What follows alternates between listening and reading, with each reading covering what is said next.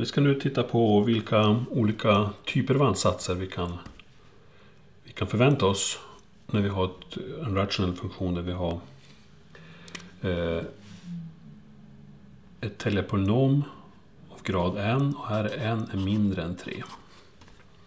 Och nämnda polynomet är ett tredjegradspolynom.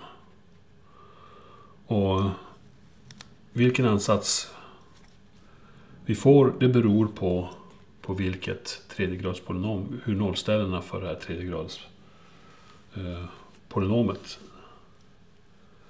eh, eh, ska vara. Så vi har, eh, vi kommer att ha fyra olika fall.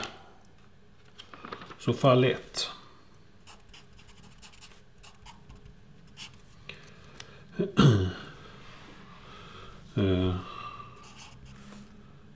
Q3 här har tre olika eh, nollställen.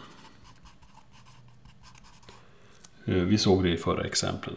Då. Så att eh, eh, A, B, C. Eh, jag kan skriva så här A inte lika med B, inte lika med C. Så att det är tre olika tal helt enkelt. Och eh, då kommer vi ha då Pn av x. Det är ett andra grads, högst en andra grads polynom, kan vara vilket som helst. Och här nere kommer det stå x minus a, x minus b, x minus c. Och då är ansatsen som vi såg ju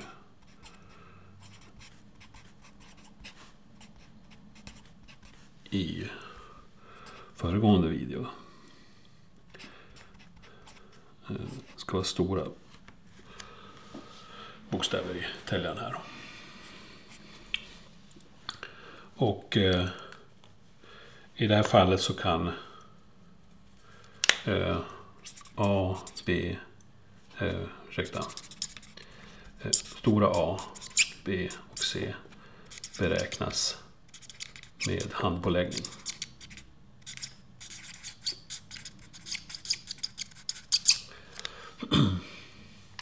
Så det är första fallet och det har vi sett ett exempel på redan. Eh, har vi fall två.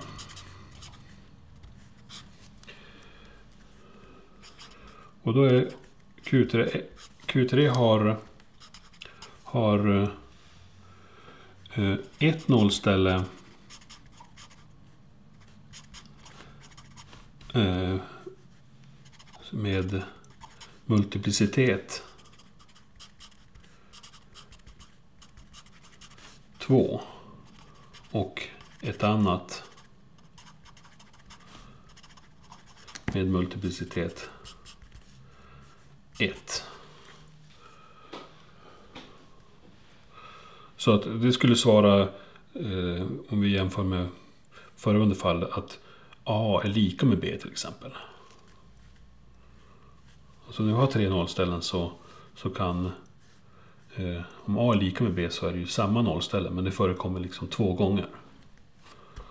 Och det gör att Q3 kommer se ut som x minus a i kvadrat gånger x minus b.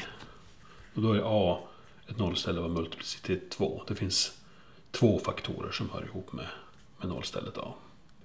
Och b är multiplicitet 1. Det finns bara en faktor för den. Och då gör man ansatsen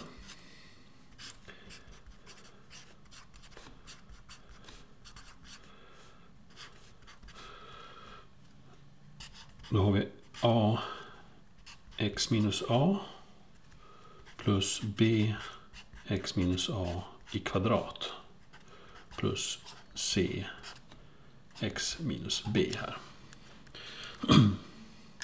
Så eh, ni ser att till den här eh, nollstället som har multiplicitet så får vi två termer. Och i den första termen så har vi x minus a upphöjt till 1 och i den andra termen har vi x minus a upphöjt till 2. Och när vi har den här eh, situationen, den här, eh, den här ansatsen. Då kan vi inte räkna ut alla de här tre talen med med, med handpåläggning. Utan det är bara eh, B och C kan beräknas med handpåläggning.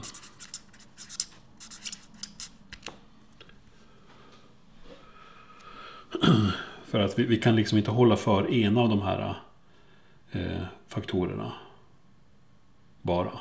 Om vi skulle räkna ut x minus a skulle vi hålla för ena. Och då får vi en faktor kvar och den blir noll. Så då får vi en nolldivision. Så att eh, det är bara b och c. Liksom om man håller för båda de här två, x minus a. Och så sätter man in a. Då kan man få fram b. Och för, för att räkna ut c så håller man för x minus b och så sätter man in x lika med b i, i det övriga uttrycket. Eh, och då får man räkna ut a beräknas med andra metoder.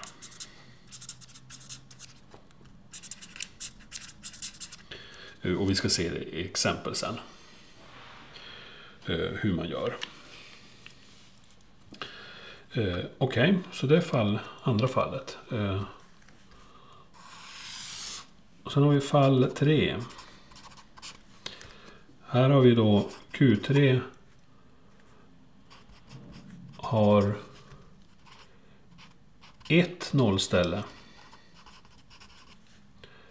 med multiplicitet 3. Det finns bara ett nollställe. Men, men det förekommer tre gånger. Så att eh, Q3 av x ser helt enkelt ut att x minus a upphöjt till 3. Och har vi en sån då kommer vi ha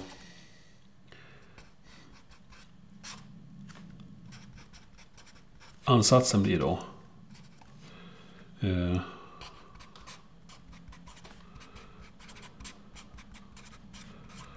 det liknar lite grann det vi hade förut då.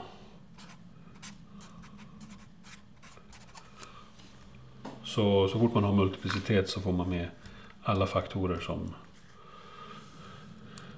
upp till den ordningen då.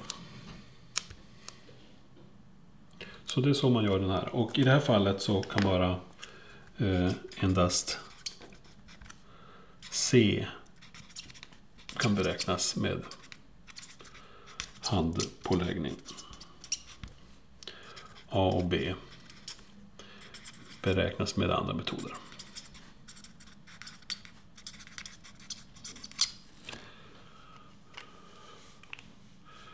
Okej, okay.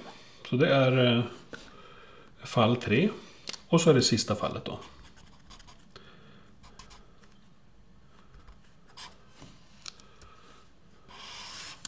Så vi har alltså eh, fjärde. Och här är det Q3 har ett reellt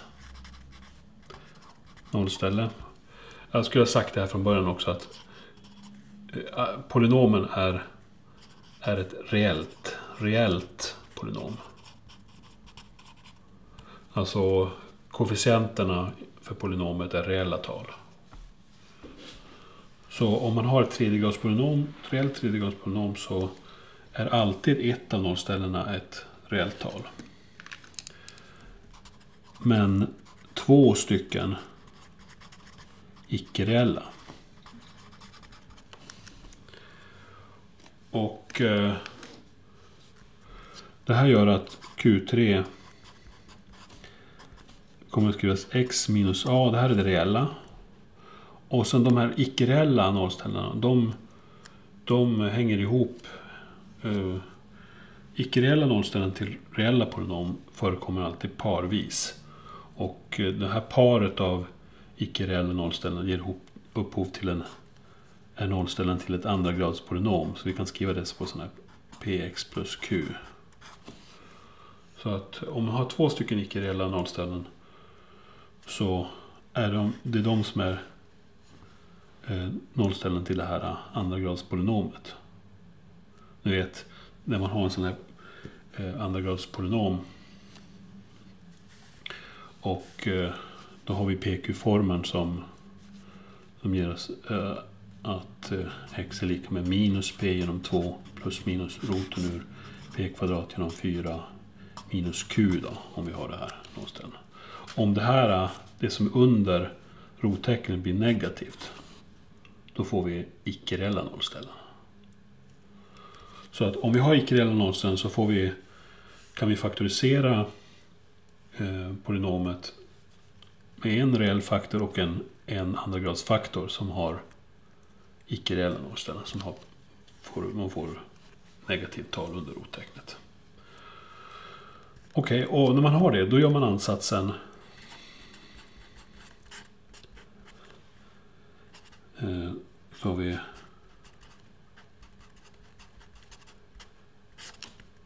Då har vi x minus a här och så plus bx plus c genom.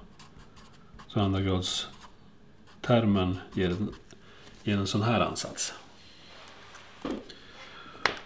Och eh, här kan man inte räkna ut b och c med, med handpåläggning. Eh, eh man skulle kunna räkna ut det med handpåläggning men då måste man hantera eh, faktorisera det här andragradspolynomet i icke-reella faktorer. Och, eh, det ägnar vi oss inte åt den här, i den här kursen. Eh, så att eh, då är alltså A, A beräknas med handpåläggning B och C med andra metoder.